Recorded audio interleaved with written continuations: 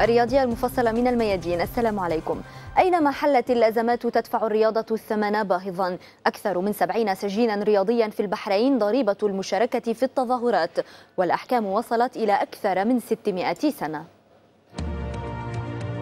سبعون لاعبا ومدربا معتقلون في السجون البحرينية. والسبب التعبير عن الرأي. الأحكام تفاوتت بين التوقيف والسجن المؤبد.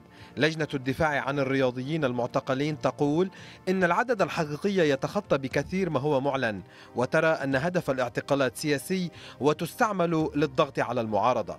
لاعب المنتخب الأولمبي لكرة القدم حكيم العريبي ساهم في نيل الأحمر ذهبية بطولة الخليج. حكم عليه بعشر سنوات بينما كان يمثل البحرين في بطولة خارجية. لاعبون آخرون ساهموا بإنجازات رياضية باسم المملكة المضطربة باتوا خلف القضبان. منتخب الكرة الطائرة حصل على بطولة الخليج الأخيرة لاعبان منه اقتداء إلى السجن وهما علي مرهون ويونس عبد الكريم. أحكام قاسية تعرض لها العديد من الرياضيين ودعوات من جمعيات كثيرة للكف عن هذه الممارسات في حق من يحمل ألوان البحرين في الخارج.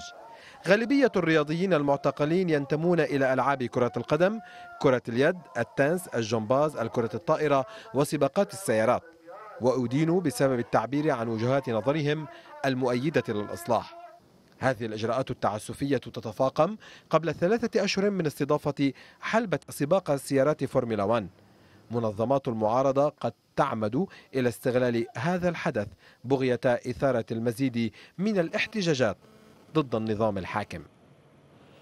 ممارسات الاحتلال الصهيوني بحق الرياضة الفلسطينية ستصعب الاتفاق على تحسين وضع القطاع الرياضي برعاية فيفا. تحذير أطلقه جبريل الرجوب ردا على التضييق الإسرائيلي. خياران لا ثالث لهما وضعهما رئيس اللجنة الأولمبية الفلسطينية. الاعتراف بالقوانين والمواثيق الدولية والأولمبية تجاه فلسطين والاعتراف بها كعضو فاعل في فيفا. رئيس الاتحاد الفلسطيني هدد بإطلاق حملة لطرد إسرائيل من الاتحاد الدولي في حال الاستمرار بل في حال استمرار عنصريتها وانتهاكها القوانين.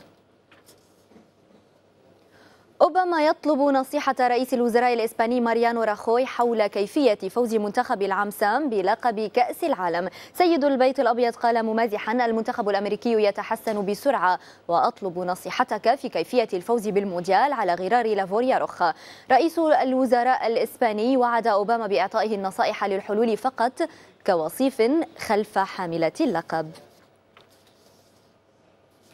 لم يكن ليلمع ذهب الكرة من دون دموع الفرح. كريستيانو رونالدو على عرش كرة القدم من جديد.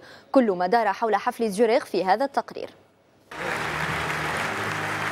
لن ينسى كريستيانو رونالدو هذه اللحظة طيلة حياته. ليلة استلامه الكرة الذهبية امتزجت دموعه مع فخر والدته دولوريس ونجله كريستيانو الصغير. دموع الفرح حبسها النجم البرتغالي ستة أعوام حين أحرز الجائزة للمرة الأولى في مسيرته. فشلت في حبس دموعي. إنها لحظة استثنائية في حياتي. حصلت على الجائزة بعد موسم رائع لكن ليونيل ميسي كان يستحقها أيضا كما فرانك ريبيري. أهدي هذه الجائزة لزملائي في ريال مدريد والمنتخب البرتغالي ولروح أوزيبيو. لاعب النادي الملكي حصل على 27% من مجموع الأصوات. يليه ليونيل ميسي ب 24 فيما حل فرانك ريبيري ثالثا ب 23% ليلة الكرة الذهبية ابتسمت للأسطورة البرازيلية بيلي فبكى بعد استلامه جائزة الفيفا الشرفية. التهنئة الرسمية الأولى جاءت من نادي برشلونة وسط غصة لإخفاق النجم الأرجنتيني ليونيل ميسي بإحرازه الكرة. لقد غبت عن مباريات هامة الموسم الماضي لكن رونالدو لاعب رائع ويستحق الفوز. نجم منتخب السويد زلاتان إبراهيموفيتش حصل على جائزة أفضل هدف للعام الفائت. أما إنجازات بايرن ميونخ التاريخية فلم تكن لتتحقق من دون حنكة يوب هاينكس فقد خطف لقب أفضل مدرب بعدما فاز بالدوري الألماني والكأس ودوري أبطال أوروبا. حصة الألمان في التتويج ختمتها حارسة المانشافت نادين أنجرير كأفضل لاعبة للعام الماضي. حفل زيورخ أنتج غسل قلوب مبادرات لم تكن لتتحقق في الأمس القريب فكتبت صحيفة ماركا كريستيانو وبلاتر يصنعان السلام. جائزة الكرة الذهبية ليست هدفه. جملة أراد من خلالها فرانك ريبيري إخفاء خيبة أمله. المرتبة الثالثة في التصويت العالمي لم تكفي لاعب وسط بايرن ميونخ لحصد الجائزة الحلم. نجم بايرن ميونخ تساءل في حديث لصحيفة بيلد الألمانية عما يمكنه فعله أكثر من إحراز جميع الألقاب مع فريقه الألماني. اللاعب الفرنسي الدولي عبر عن حزنه أكد أن عزاءه الوحيد هو اختياره كأفضل لاعب في أوروبا.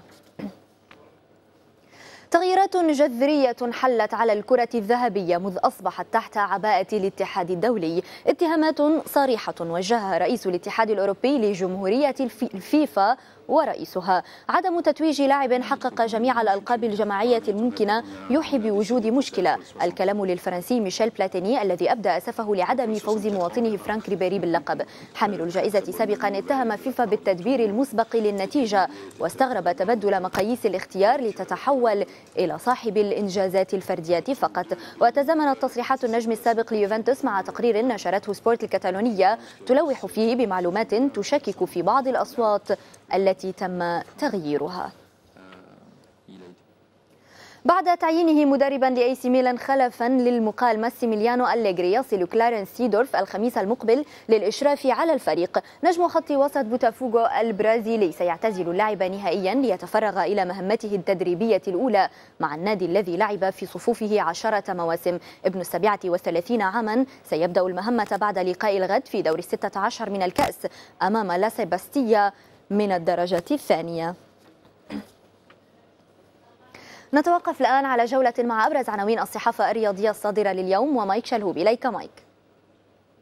شكرا أماني واهلا بكم في جولة على أبرز عناوين الصحافة الأوروبية والدولية، البداية مع صحيفة ماركا فقد عنونت يبكي رونالدو الفائز بالكرة الذهبية يسعى إلى كتابة صفحة مميزة في تاريخ كرة القدم. الصحيفة نقلت عن ليونيل ميسي قوله إنه لم يشارك في عملية التصويت لأنه كان يعلم سابقا هوية الفائز. دائما مع الصحافة الإسبانية وننتقل إلى مواطنتها سبورت التي لم تفرح لفوز كريستيانو رونالدو بالجائزة فقد انتقد انتقدت عملية التصويت بعنوان هذه المرة لم يفز الأفضل الصحيفة الإسبانية قالت منذ عام 2000 لم يفز بالكرة أحد من دون أن يحرز أي لقب من إسبانيا ننتقل إلى الصحافة الأرجنتينية وتحديدا مع أوليف قد تابعت بالانتقاد عينه فقد اكتفت بكتابة نتيجة أربع في مقابل اثنتين ما يعني أن ميسي أحرز الجائزة أربع مرات فيما اكتفى رونالدو بتحقيق ثنائية.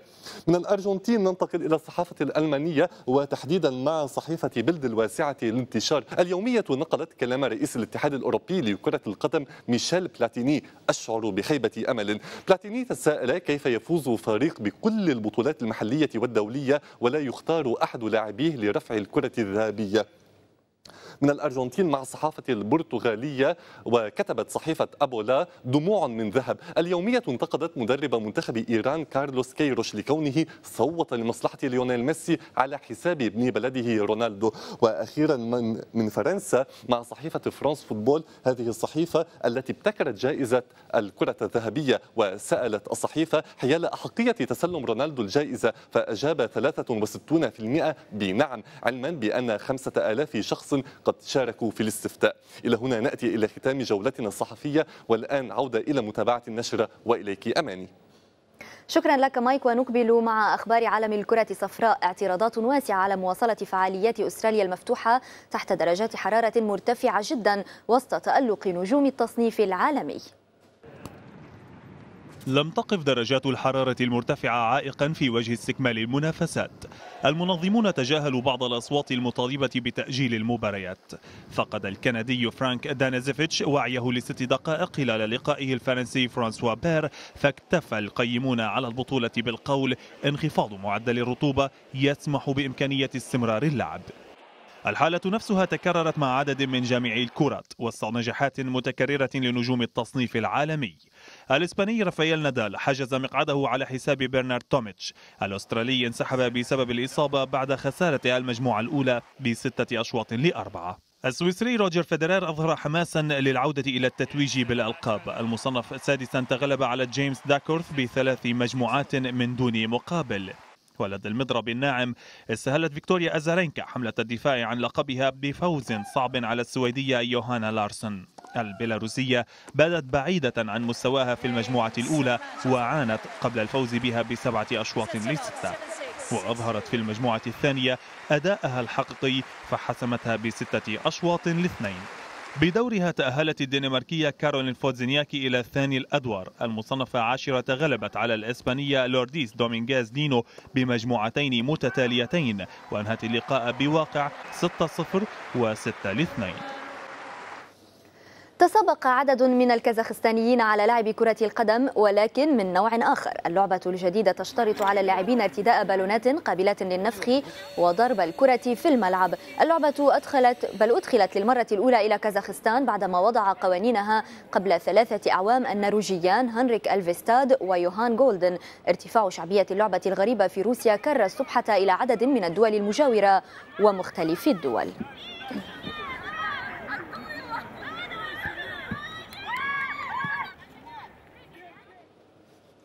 من مدرسة مجهولة إلى سطح معمل خال فبيت يشبه مدينة الأشباح يتنقل ثلاثة شبان بخفة وبطريقة غير اعتيادية. إنهم ببساطة متزلجون محترفون. حركات بهلوانية رائعة وخطرة على علو مرتفع فوق أسطح المباني وسط مدينة ديترويت الأمريكية. بين مشهد اقتصادي مترنح وبريق رياضة التزلج في بلاد العمسام يسعى المتزلجون لكسر حاجز الجليد وابتكار رياضة فريدة من نوعها. نترك نترككم مع هذه الحركات الرياضية الرائعة. شكرا للمتابعة والسلام عليكم.